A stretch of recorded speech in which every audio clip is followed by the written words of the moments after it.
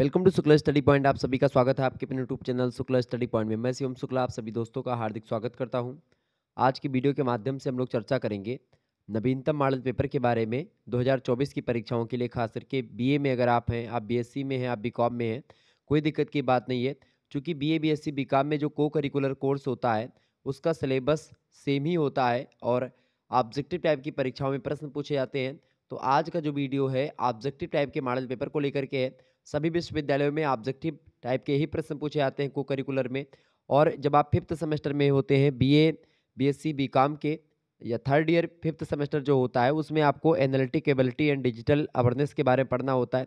analytic ability को हिंदी में बोलते हैं विश्लेषण क्षमता या अगर और सरल भाषा में आपको बताऊं तो रीजनिंग का नाम आप लोगों ने सुना होगा तो रीजनिंग होता है एनालिटिक एबिलिटी डिजिटल अवेयरनेस का मतलब होता है डिजिटल जागरूकता डिजिटल मतलब होता है कंप्यूटर से रिलेटेड जो जानकारी होती है वही होती है डिजिटल जागरूकता ठीक है तो यही प्रश्न आपकी परीक्षा में आने वाले हैं तो अब इन प्रश्नों को एकदम से आपको याद कर लेना है आज के वीडियो के माध्यम से लगभग पचास से अधिक ऑब्जेक्टिव टाइप के प्रश्नों पर हम लोग चर्चा करेंगे top fifty one M C Qs यानी मल्टीपल चॉइस प्रश्नों पर चर्चा करने वाले हैं इससे पहले आप लोगों ने देखा होगा भाई डिजिटल जागरूकता से रिलेटेड आपके जो है चैनल पर लगभग तीन से चार वीडियो आ चुकी होंगी ये अगली वीडियो है उसी की आज के वीडियो के माध्यम से हम लोग चर्चा करेंगे एनालिटिक एबिलिटी के बहुत ही महत्वपूर्ण महत्वपूर्ण प्रश्नों के बारे में जो कि आपके किससे रिलेटेड होंगे भैया आपके रिलेटेड होंगे खास करके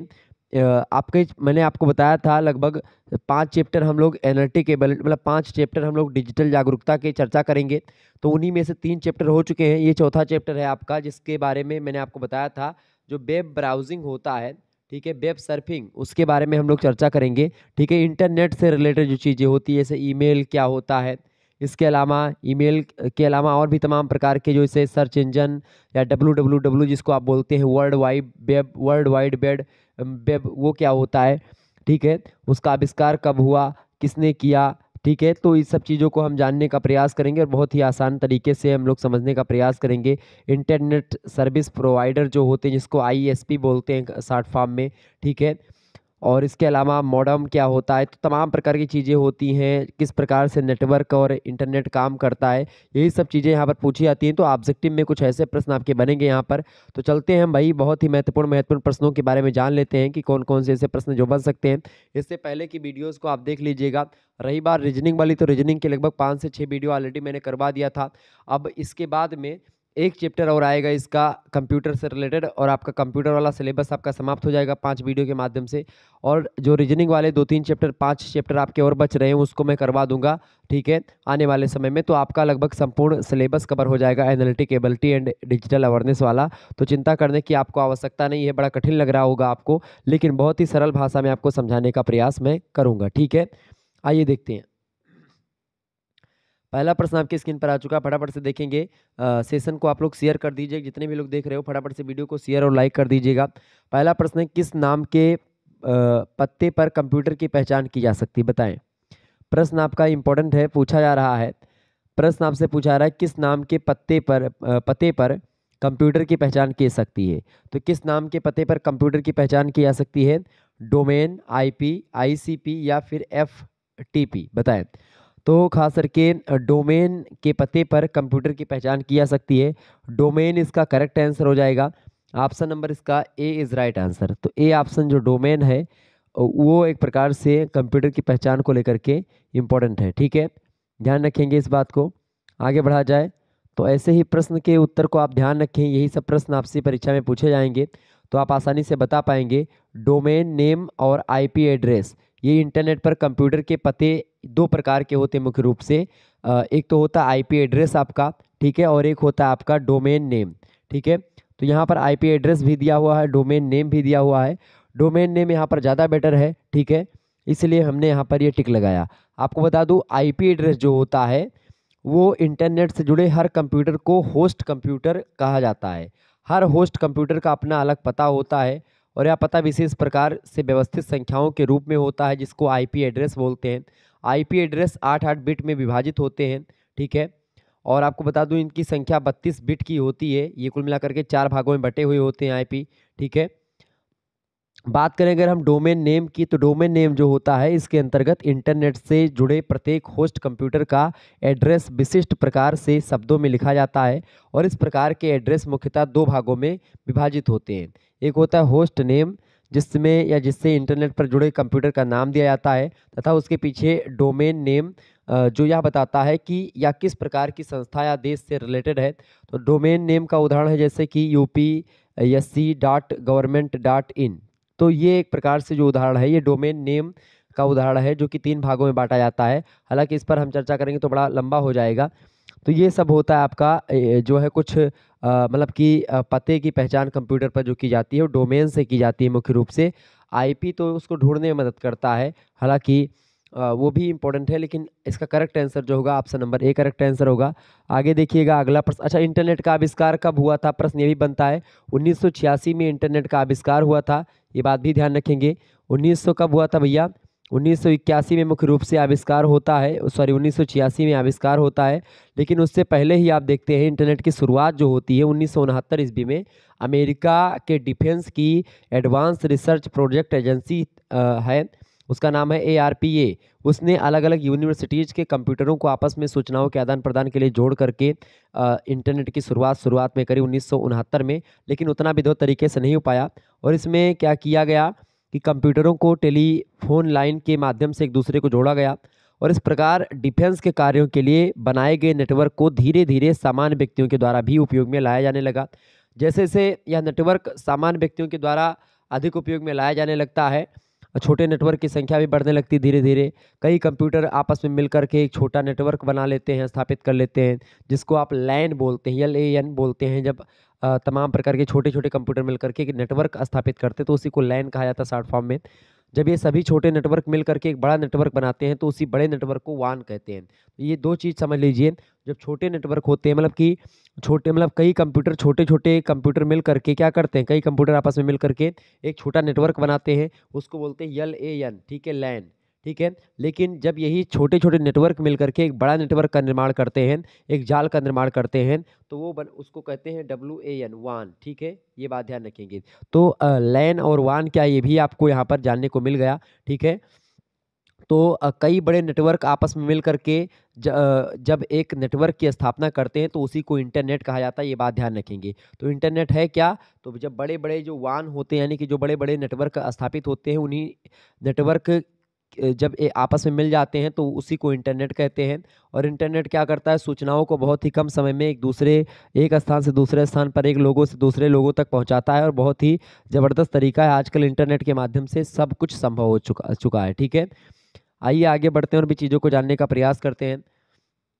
अगला प्रश्न W W W W W से क्या तात्पर्य है डब्लू डब्लू डब्लू का फुल फॉर्म क्या होता है वर्ल्ड वाइड वेब कहीं पर होगा world wide web correct answer क्या हो जाएगा इसका world wide wide web option number C में दिया करेक्ट आंसर हो जाएगा इसका C option is right answer तो ये प्रश्न आपका हंड्रेड परसेंट आने वाला है ध्यान रखेंगे अगला प्रश्न इंटरनेट पर निम्नलिखित में से किसकी सहायता से एक कंप्यूटर से दूसरे कंप्यूटर पर फाइल को ट्रांसफ़र किया जा सकता है टीपीसी के माध्यम से आईपी के माध्यम से वेब लिंक या वेब ब्राउज के माध्यम से बताएं तो इंटरनेट पर जो है आईपी की सहायता से एक कंप्यूटर से दूसरे कंप्यूटर पर फाइल को ट्रांसफ़र किया जा सकता है बिल्कुल ऑप्शन नंबर इसका बी करेक्ट आंसर हो जाएगा आगे देखिएगा अगला प्रश्न आपकी स्क्रीन पर आ चुका है किसी यू का मेन पेज क्या कहलाता है यू आर एल का जो मेन पेज होता है उसको क्या बोलते हैं उसको बोलते हैं होम पेज ऑप्शन नंबर इसका ए करेक्ट आंसर हो जाएगा ठीक है क्लियर हो गया बात चले आगे बढ़ते हैं और भी चीज़ों को जानने का प्रयास करते हैं अगला प्रश्न आपकी स्क्रीन पर आ चुका है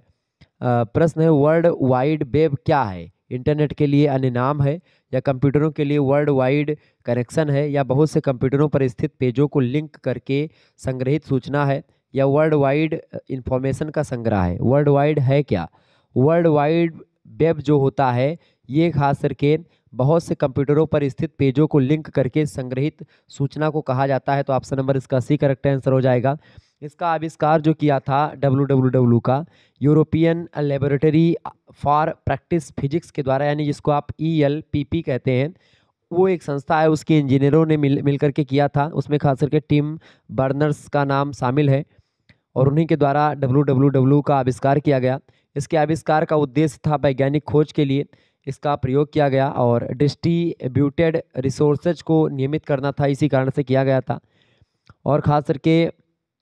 आप देखते हैं वर्ल्ड वाइड वेब जो है ये एच टी एम एल के द्वारा तैयार किए गए विभिन्न डॉक्यूमेंट्स का संग्रह है और सभी प्रोटोकॉल तक पहुंचाने के लिए वर्ल्ड वाइड वेब एक इंटरफेस प्रदान करता है जिसकी सहायता से प्रयोगकर्ता इंटरनेट के सभी प्रोटोकॉल्स तक पहुंच पाते हैं वर्ल्ड वाइड वेब जो होता है उसके माध्यम से प्रयोगकर्ता अपने कंप्यूटर पर किसी भी डॉक्यूमेंट को प्रदर्शित करने के लिए निर्देश दे सकता है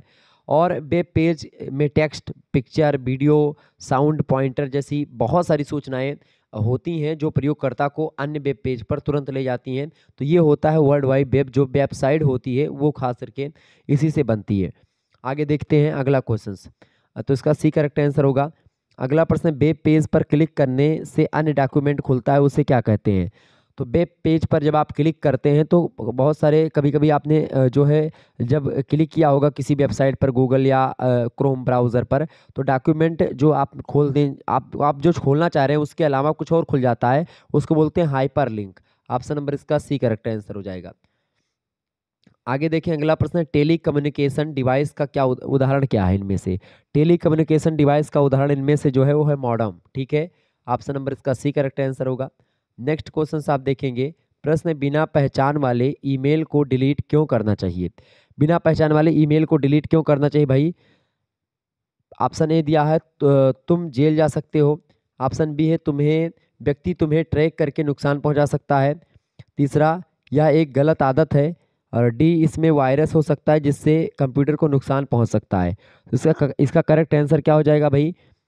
बिना पहचान वाले ईमेल को डिलीट इसलिए करना चाहिए जिससे क्या होता है कि इसमें वायरस हो सकता है जिससे कंप्यूटर को आपके नुकसान पहुंच सकता है इसीलिए बिना पहचान वाले ईमेल को डिलीट कर देना चाहिए ऑप्शन नंबर इसका डी करेक्ट आंसर हो जाएगा आगे देखिएगा अगला क्वेश्चन आपकी स्क्रीन पर आ चुका है बहुत ही ज़बरदस्त प्रश्न है वेब पर सूचना देखने के लिए क्या आवश्यक है वेब पर सूचना देखने के लिए क्या आवश्यक है भैया केवल मॉडम या वेब वेब ब्राउज़र या डोमेन नाम सर्वर या हाइपर टेक्स्ट व्यूअर बताएं करेक्ट आंसर इसका क्या हो जाएगा इसका करेक्ट आंसर क्या हो जाएगा वेब पर सूचना देखने के लिए क्या आवश्यक है वेब ब्राउजर आवश्यक है ऑप्शन नंबर इसका बी करेक्ट आंसर होगा अगला प्रश्न डैश सबसे अधिक विकसित नेटवर्क इनमें से कौन सा एल ए एन या डब्ल्यू ए एन या इंटरनेट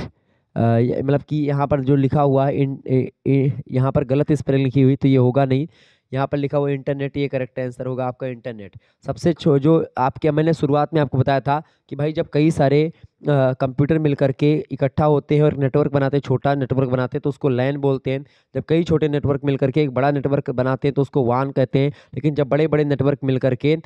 जो है एक जाल बनाते हैं एक संगठन बनाते हैं समूह बनाते हैं तो उसको बोलते हैं इंटरनेट तो ऑप्शन नंबर इसका डी करेक्ट आंसर हो जाएगा इंटरनेट सबसे अधिक विस्तृत नेटवर्क होता है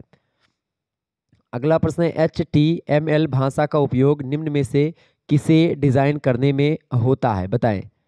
फटाफट से आप बता देंगे वेब पेज या डॉट ई एक्सी फाइल या सॉफ्टवेयर या इनमें से कोई नहीं एच टी एम एल भाषा का उपयोग निम्न में से किसे डिजाइन करने में होता है तो वेब पेज को डिजाइन करने में होता है ऑप्शन नंबर इसका ए करेक्ट आंसर होगा आगे देखिएगा अगला प्रश्न हाइपर लिंक है हाइपर लिंक लिंक क्या होती है ऑप्शन ए दिया हुआ है एक वाक या चित्र जो क्लिक करने पर दूसरे दस्तावेज को खोलता है वही होता है हाइपरलिंक अभी इससे पहले हमने चर्चा करा था ऑप्शन नंबर इसका ए करेक्ट आंसर होगा आगे देखिएगा अगला प्रश्न है इंटरनेट साइट पर मुख्य पेज क्या कहलाता है तो इंटरनेट साइट पर जो मुख्य पेज होता है उसी को होम पेज कहते हैं ये प्रश्न भी मैंने अभी चर्चा करा था तो ये प्रश्न इंपॉर्टेंट है आप ध्यान रखेंगे अगला प्रश्न सर्च इंजन में होता है सर्च इंजन में क्या होता है भाई जो है आ, क्रा क्रावल जो है क्रॉलर होता है या फिर बैंक बिथ या फिर नेटवर्किंग या इनमें से कोई नहीं तो खास करके सर्च इंजन में जो होता है वो क्रॉलर होता है ऑप्शन नंबर इसका ए करेक्ट आंसर होगा नेक्स्ट क्वेश्चन आप देखेंगे ईमेल में कौन सा प्रोटोकॉल प्रयुक्त होता है तो ईमेल की बात की जाए इलेक्ट्रॉनिक मेल जिसको बोलते हैं ईमेल को फुल फॉर्म इसकी होती है तो ईमेल में जो प्रोटोकॉल प्रयुक्त होता है वो होता है एफ ऑप्शन नंबर इसका डी करेक्ट आंसर हो जाएगा ईमेल बेसिकली जो होता है ये हम जो है जैसे पत्र वगैरह पहले लिखते थे उसी का एक प्रकार से बोल सकते हैं डिजिटलीकरण होता है ईमेल ईमेल के माध्यम से आप पत्र वगैरह या बड़े बड़े कर्मचारी लोग जो बड़े बड़े अधिकारी लोग होते हैं कार्यालय दूसरे कार्यालय में भी आजकल पत्रों के जगह पर ईमेल भेजना ज़्यादा पसंद करते हैं ठीक है कम समय लगता है टिकाऊ भी होता है ये बात ध्यान रखेंगे ओके तो ये होता है आपका क्या भाई ईमेल ठीक है आगे देखिएगा अगला क्वेश्चन आपकी स्क्रीन पर आ चुका है टी का पूर्ण रूप क्या है टीसीपी का पूर्ण रूप क्या है भाई टीसीपी का फुल फॉर्म होता है ट्रांसमिशन कंट्रोल प्रोटोकॉल ठीक है ऑप्शन नंबर डी मतलब बी दिया है ट्रांसमिशन कंट्रोल प्रोटोकॉल इसका करेक्ट आंसर हो जाएगा टीसीपी का फुल फॉर्म है आगे देखिए एग्जाम में प्रश्न आ सकता है ये सब तो ध्यान रखेंगे इन प्रश्नों को याद कर लीजिएगा फुल फॉर्म वाले अगला प्रश्न आपका है आईएसडीएन का पूर्ण रूप क्या है या फुल फॉर्म क्या है आईएसडीएन का तो आईएसडीएन का फुल फॉर्म होता है integrated service digital network integrated service digital network option number D में दिया करेक्ट आंसर हो जाएगा आपका आगे बढ़िए अगला क्वेश्चन आपकी स्क्रीन पर आ चुका है फटाफट से वीडियो को लाइक और शेयर करते रहिएगा सभी दोस्तों के साथ अपने इस सेशन को शेयर कर दीजिए चले अगला प्रश्न है वान का पूर्ण रूप क्या होता है वान जो कि छोटे छोटे नेटवर्क के मिलने से एक बड़ा नेटवर्क बनता है उसी को वान बोलते हैं वान का मतलब क्या होता है वान की फुल फॉर्म क्या होती है बताएं फटाफट से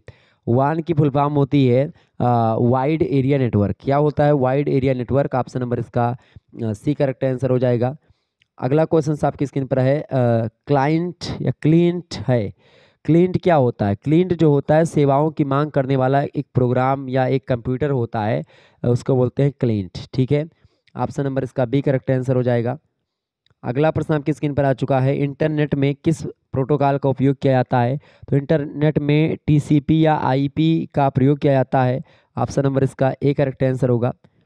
अगला क्वेश्चन सर आप देखेंगे एक उपकरण जो एनलाग सिग्नल्स प्राप्त कर उन्हें डिजिटल डाटा में परिवर्तित करता है वो क्या कहलाता है बताए मॉडम या फिर डेमोडिलेटर या मल्टीप्लेक्सर या इनमें से कोई नहीं बताएं फटाफट से आप बताने का प्रयास करेंगे एक उपकरण जो एनलॉग सिग्नल्स प्राप्त कर उन्हें डिजिटल डाटा में परिवर्तित करता है उसको हम मॉडम बोलते हैं ऑप्शन नंबर इसका ए करेक्ट आंसर हो जाएगा याद कर लीजिएगा प्रश्न इंपॉर्टेंट है आगे देखेंगे अगला प्रश्न आपकी स्क्रीन पर आ चुका है इंटरनेट एड्रेस होता है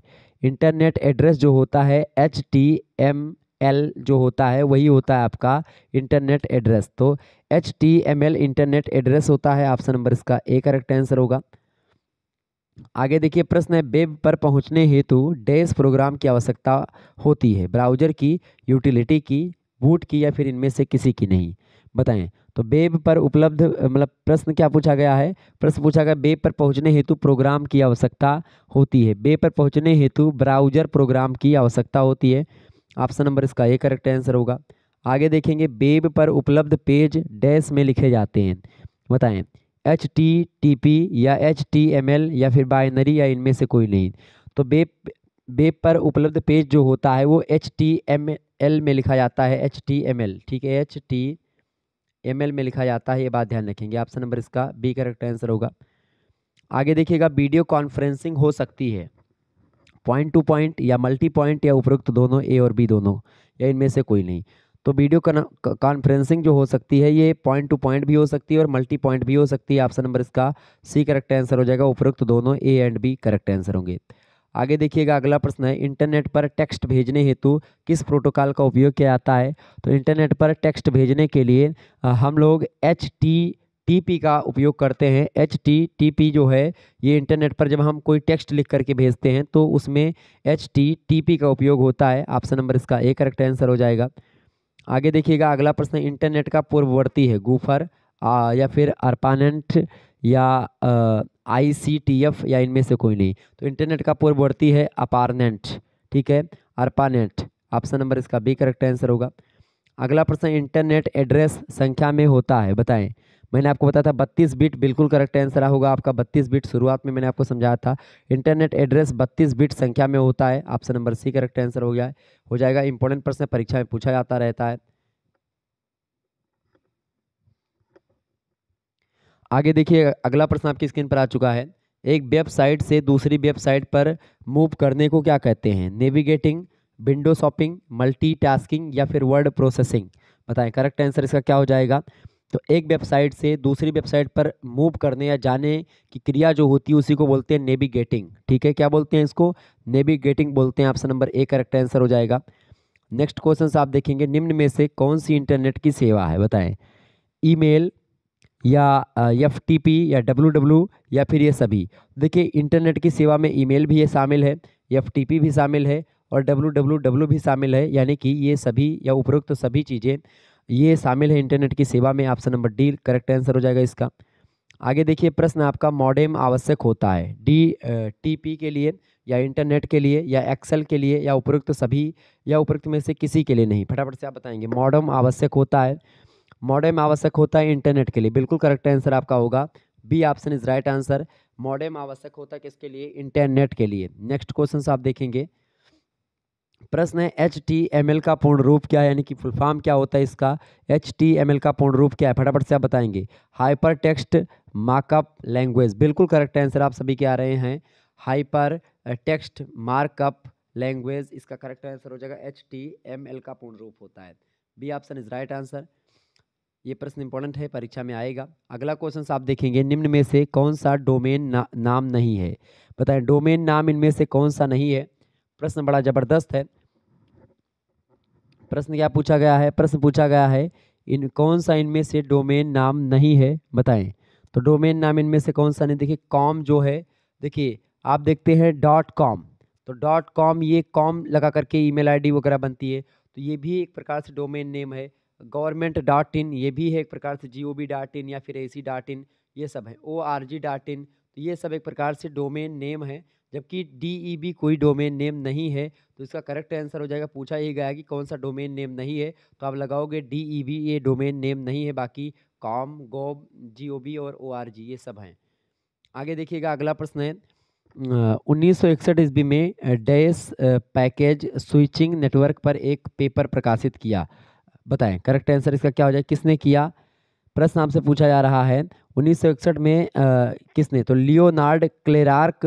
ने पैकेट जो है स्विचिंग नेटवर्क पर एक पेपर प्रकाशित किया तो Leonard Kleinrock option number D correct answer हो जाएगा प्रश्न अगला है निम्न में से कौन सा पहला वाणिज्यिक वेब ब्राउजर था बताएं पहला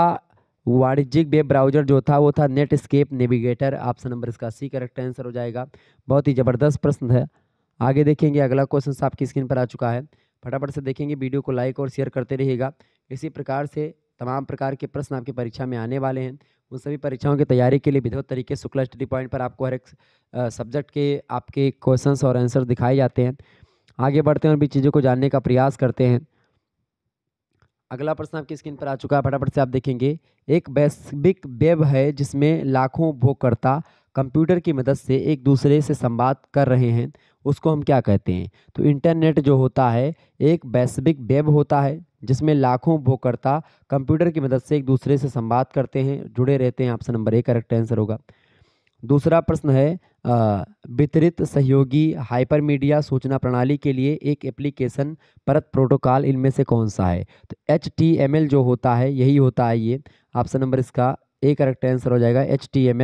वितरित सहयोगी हाइपरमीडिया सूचना प्रणाली के लिए एक एप्लीकेशन परत प्रोटोकॉल होता है आगे देखिएगा अगला प्रश्न है अंग्रेजी भौतिकी विज्ञान भौतिकी विज्ञानी टिम बर्नर्स ली एक विद्वान है ये मतलब अंग्रेजी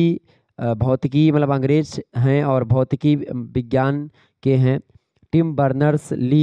उन्नीस ईस्वी में उन्होंने किसकी स्थापना की थी तो उन्होंने स्थापना करी थी भैया किसकी डब्ल्यू डब्ल्यू डब्लू की स्थापना करी थी उन्होंने उन्नीस में इसी के लिए वो प्रसिद्ध है ये बात ध्यान रखेंगे ठीक है टिम बर्नर्स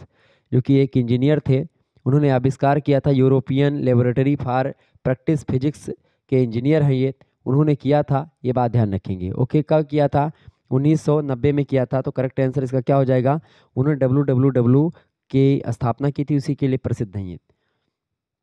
आगे देखिए अगला प्रश्न आपकी स्क्रीन पर आ चुका फटाफट से देखेंगे इंपॉर्टेंट प्रश्न है प्रश्न इंटरनेट पर भेजी भेजी जाने वाली जानकारी सामान्यतः नियमों के सेट का उपयोग करती है जिन्हें कहा जा सकता है बताएं इंटरनेट तो पर भेजी जाने वाली जानकारी सामान्यतः नियमों के किसके नियमों के सेट का उपयोग करती है जिन्हें हम लोग क्या जानते हैं टी या आई जानते हैं ऑप्शन नंबर बिल्कुल ए करेक्ट आंसर होगा आगे देखिएगा टी सी वर्ष में शुरू हुआ किस वर्ष में शुरू हुआ टी सी बताएं तो T C P oblique I P जो शुरू हुआ है 1974 से शुरू हुआ है ऑप्शन नंबर इसका बी करेक्ट आंसर होगा आगे देखिए अगला प्रश्न स्पैम का उपयोग पहली बार वर्ष पहली बार वर्ष में किस वर्ष में किया गया स्पैम स्पैम का प्रयोग अठहत्तर में सबसे पहले किया गया option number A correct answer होगा आगे देखिए डोमेन नेम सिस्टम वर्ष में मतलब कब बनाया गया था तो डोमेन नेम जो बनाया गया था उन्नीस से शुरू होता है ये option number B correct answer हो जाएगा बहुत महत्वपूर्ण महत्वपूर्ण प्रश्न है ये सब आपकी परीक्षा में प्रश्न आएंगे ध्यान रखेंगे अगला प्रश्न है प्रथम वर्चुअल समुदाय का क्या नाम है बताएं प्रथम वर्चुअल समुदाय का नाम है वेल ठीक है प्रथम वर्चुअल जो समुदाय उसका नाम क्या है well option number D correct answer होगा अगला प्रश्न है पहला वेब पेज बनाया गया था 1980 में उन्नीस सौ इक्यानवे उन्नीस सौ पंचानवे और 2000 में तो पहला जो बनाया गया था वेब पेज वो बनाया गया था 1991 में उन्नीस में option number B correct answer हो जाएगा आगे देखिएगा प्रश्न सामान्य जनता के लिए पहला ग्राफिकल वेब ब्राउजर निम्नलिखित में से कौन सा था मोजिला याहू क्रोम या फिर मोजेक बताएं सामान्य जनता के लिए पहला ग्राफिकल वेब ब्राउजर जो था वो कौन था वो था मोजेक ऑप्शन नंबर इसका डी करेक्ट आंसर हो जाएगा आगे देखिएगा अगला प्रश्न इंटरनेट का व्यवसायीकरण कब शुरू हुआ तो इंटरनेट का व्यवसायीकरण जो शुरू हुआ है वो 1995 में से शुरू हुआ उन्नीस से ऑप्शन नंबर इसका सी करेक्ट आंसर होगा आगे देखिएगा अगला प्रश्न है निम्नलिखित में से कौन सी पहली वेब आधारित वेब मेल सेवा की मतलब सेवा थी जी mail Yahoo mail hot mail या फिर रेडिप मेल करेक्ट आंसर इसका क्या हो जाएगा बताएं निम्नलिखित में से कौन सी पहली वेब आधारित वेब मेल सेवा थी वो थी हॉट मेल सेवा ऑप्शन नंबर इसका सी करेक्ट आंसर होगा आगे देखें गूगल का जन्म कब हुआ गूगल का जन्म हुआ 1998 में उन्नीस में option number C correct answer होगा आगे देखिएगा अगला प्रश्न है डैश ने इंटरनेट पर आइडियो की फाइल शेयरिंग के द्वार खोल दिए गूगल ने नेपेस्टर ने विकीपीडिया ने या फिर फायरवाल ने तो करेक्ट आंसर इसका क्या हो जाएगा तो नेपेस्टर ने इंटरनेट पर आइडियो की फाइल शेयरिंग के द्वार खोल दिए ऑप्शन नंबर इसका बी करेक्ट आंसर होगा अगला क्वेश्चन है विकीपीडिया को आ, किस सन में लॉन्च किया गया तो विकीपीडिया को 2001 में लॉन्च किया गया था ऑप्शन नंबर इसका बी करेक्ट आंसर हो जाएगा ये सब प्रश्न आपकी परीक्षा के दृष्टि से बहुत महत्वपूर्ण है इनको एकदम से रट डालिएगा अगला प्रश्न है निम्नलिखित में से सभी वायरलेस इंटरनेट एक्सेस नेटवर्क तकनीकें हैं सिवाय एक की बताएं तो उनमें से एक कौन है जो नहीं है बाकी तीन हैं वाईफाई ब्लूटूथ और जिगवी ये वायरलेस इंटरनेट एक्सेस नेटवर्क तकनीकी हैं जबकि गीगा पोप ये नहीं है तो ऑप्शन नंबर इसका डी करेक्ट आंसर होगा अगला प्रश्न आप देखेंगे निम्नलिखित में से कौन तीव्रतम डाउनलोड गति प्रदान करता है डी या केबल मॉडेम या फिर टी वन या फिर टी थ्री तो करेक्ट आंसर क्या हो जाएगा इसका तीव्रतम डाउनलोड जो गति प्रदान करता है वो टी थ्री प्रदान करता है ऑप्शन नंबर इसका डी करेक्ट आंसर होगा आगे देखिएगा अगला प्रश्न टेलीफोन लाइन के माध्यम से दो कंप्यूटरों को जोड़ने वाले यंत्र का क्या नाम है फटाफट से आप बताएंगे तो टेलीफोन लाइन के माध्यम से दो कंप्यूटरों को जोड़ने वाले यंत्र को हम लोग क्या बोलते हैं मॉडेम बोलते हैं ऑप्शन नंबर इसका ए करेक्ट आंसर हो जाएगा ये प्रश्न इंपॉर्टेंट है और अगला प्रश्न आपका लास्ट प्रश्न है और बहुत ही महत्वपूर्ण है प्रश्न है पहला ग्राफिकल वेब ब्राउज़र कब और कहाँ बना था बताइएगा सभी लोग तो पहला ग्राफिकल वेब ब्राउज़र जो बना था वो कहाँ पर बना था भाई और कब बना था 1993 में एन सी एस ए में मोजेक बना था ये बात ध्यान रखेंगे उन्नीस सौ तिरानबे करेक्ट आंसर हो जाएगा option number A is right answer इस तरीके से आप लोगों ने बहुत सारे ऑब्जेक्टिव प्रश्नों को समझा अगला जो वीडियो आपका मतलब कि इससे पहले आपने वीडियो देखा होगा ये वाला सॉल्व मॉडल पेपर मैंने दिया था N cable T and digital awareness का तो इससे पहले वाला वीडियो है आप इसको देख लीजिएगा बहुत महत्वपूर्ण है तो ये प्रश्न आपके लिए बहुत ही महत्वपूर्ण ये वीडियो है इसके अलावा इससे पहले ये वीडियो आपने देखा होगा और ये वीडियो तो इस तरीके से एम वर्ड और ये और मतलब कंप्यूटर से रिलेटेड ये कुछ जानकारी इसमें बताई गई हैं वे आप देख लीजिएगा एम एस वर्ड से रिलेटेड और इसमें एम एस एक्सल से रिलेटेड बातें बताई गई इस वीडियो में तो इस प्रकार से तीन चैप्टर ये ठीक है और इसके बाद में आज का जो वीडियो था ये वेब सर्फिंग को लेकर के था जिसके बारे में आज हमने लगभग लगभग और लगभग साठ से अधिक प्रश्नों के बारे में चर्चा करी है अगर आप इसको गिने तो बहुत सारे प्रश्न हो जाएंगे ठीक है वहाँ पर मैंने केवल लिखा है इक्यावन बाकी प्रश्न आपके ज़्यादा हैं अगर मैं गिनना चाहूँ तो आपको गिन करके बता भी सकता हूँ लेकिन गिनने की कोई आवश्यकता नहीं है हालाँकि चले गिन लेते हैं एक मिनट लगेगा एक दो तीन चार पाँच और छः सात आठ नौ ठीक है दस ग्यारह बारह तेरह चौदह पंद्रह सोलह सत्रह अठारह उन्नीस बीस इक्कीस बाईस तेईस चौबीस पच्चीस छब्बीस सत्ताईस अट्ठाईस उनतीस तीस इकतीस बत्तीस तैंतीस चौंतीस पैंतीस छत्तीस सैंतीस अड़तीस उनतालीस चालीस इकतालीस बयालीस तिरालीस चौवालीस पैंतालीस छियालीस सैंतालीस अड़तालीस उनचास पचास इक्यावन बावन तिरपन तिरपन प्रश्न के आसपास लगभग आपका यहाँ पर हो गया ठीक है और बीच बीच में मैंने और भी चीज़ों को आपको बताया शुरू में बताया कुछ चीज़ों को तो ये सब मिला करके आप लगभग सिक्सटी परसेंट के आसपास पहुंच जाते हैं तो बड़ा ज़बरदस्त तरीके से आप लोगों ने समझा तो इन सभी वीडियो को भी देख लीजिएगा और बाकी रीजनिंग वाली वीडियोज़ को मैंने प्लेलिस्ट में समाहित कर दिया तो प्ले आप देख लीजिएगा उसमें सारी चीज़ें आपको जानकारी मिल जाएगी ठीक है आगे फिर मिलेंगे हम नेक्स्ट वीडियो के साथ और जो उसमें हम लोग चर्चा करेंगे लास्ट चैप्टर होगा इसका साइबर सुरक्षा साइबर सिक्योरिटी के बारे में साइबर सुरक्षा से बनने वाले बहुत ही महत्वपूर्ण महत्वपूर्ण प्रश्न आपको वैसे भी जानने चाहिए और इसके अलावा उसे तो जानने चाहिए इसके अलावा जो ऑब्जेक्टिव प्रश्न वहाँ से बनेंगे उसको भी हम चर्चा करेंगे लगभग 55 फाइव क्वेश्चन के बारे में विस्तार से जानेंगे ठीक है तो उस वीडियो के लिए आप तैयार हो जाइएगा अगले अगले दिन वो वीडियो की लाइव क्लास होगी तो आप उसके लिए तैयार हो जाइएगा ठीक है धन्यवाद मिलते हैं फिर नेक्स्ट वीडियो में तब तक के लिए तब तक के लिए जय हिंद जय भारत आप सभी का बहुत बहुत धन्यवाद हमारे से जुड़ने के लिए इसी प्रकार से अपना प्यार हमेशा बनाए रखेंगे तो बीए में अगर आप हैं बीएससी में हैं बीकॉम में हैं सभी की दृष्टि से यह लेक्चर बहुत ही महत्वपूर्ण है तो आप लोग इसी प्रकार से तैयारी करते रहें बहुत बहुत धन्यवाद आप सभी का बहुत बहुत धन्यवाद fifth semester B third year B A B ठीक है के बहुत ही महत्वपूर्ण महत्वपूर्ण प्रश्न थे ये तो बिल्कुल चलें धन्यवाद